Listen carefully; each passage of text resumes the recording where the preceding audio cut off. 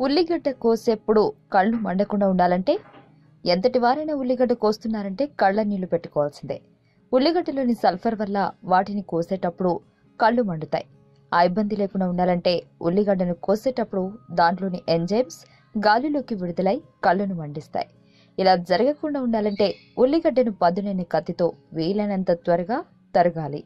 ఉల్లిగడ్డను కోసే ముందు కాసేపు ఫ్రిడ్జ్లో ఉంచాలి. దీనివల్ల ఎంజైమ్స్ ప్రభావం తగ్గుతుంది.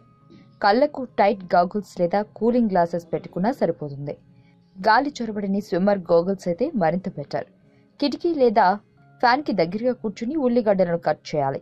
ఇలా చేస్తే గాలికి ఉల్లి నుండి వెలువడే ఎంజైమ్స్ కళ్ళకు చేరకుండా ఉంటాయి. ఆరోగ్యవంతమైన జీవితం కోసం మనం పాటించాలి కొన్ని నియమాలని. చిన్ని చిన్ని చిట్కాలతో చింతలేని జీవితాన్ని ఎలా గడపాలి అనే దానికి వీక్షిస్తూనే ఉండండి మన ఆరోగ్యం యూట్యూబ్ ఛానల్. మరిన్ని ఆరోగ్య సూత్రాలకు సబ్స్క్రైబ్ చేసుకోండి.